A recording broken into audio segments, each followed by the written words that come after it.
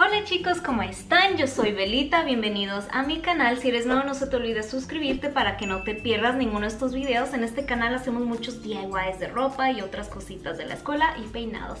Así que vamos a comenzar haciendo este lindo suéter o bueno, esta blusa que la hice de un suéter muy, muy fácil.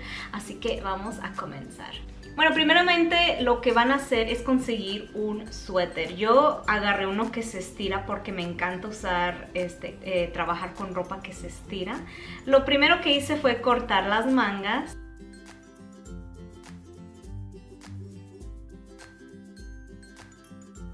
Después agarra tu manguita que cortaste del suéter y le vas a cortar los, estas cositas de aquí, no sé cómo se llama agarré un pedazo de tul y lo doblé por la mitad y corté un rectángulo como ven aquí.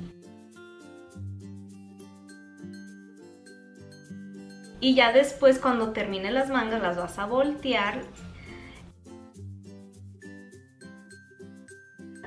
y ya después con mucho cuidado le vas a poner un pin y lo vas a coser y ahora con mucho cuidado vas a coser alrededor de la manguita y vas a hacer esto por los dos lados.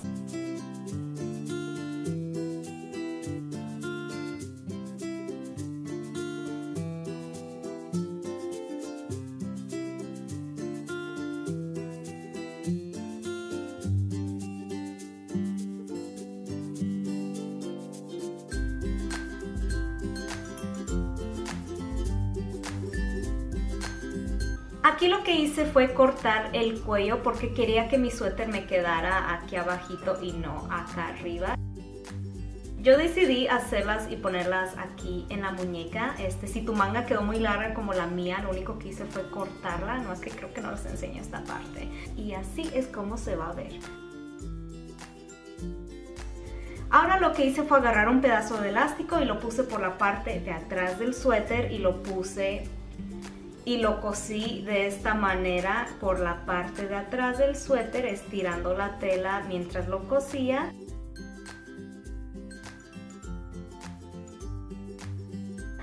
y así es como se ve y lo hice por los dos lados. Y eso hace que se vea súper divino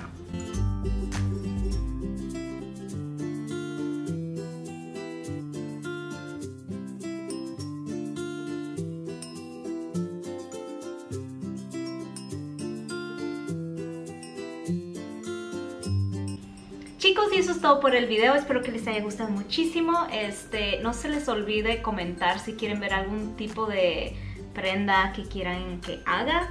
Este, también yo me inspiro mucho en Pinterest. Si me gusta una blusa la hago y ya. Este, y bueno, eso es todo por este video. Este, no se les olvide ver estos otros videitos de aquí, este, otras ideitas para renovar su ropa o hacer desde un pedazo de tela. Los quiero mucho y nos vemos en la próxima.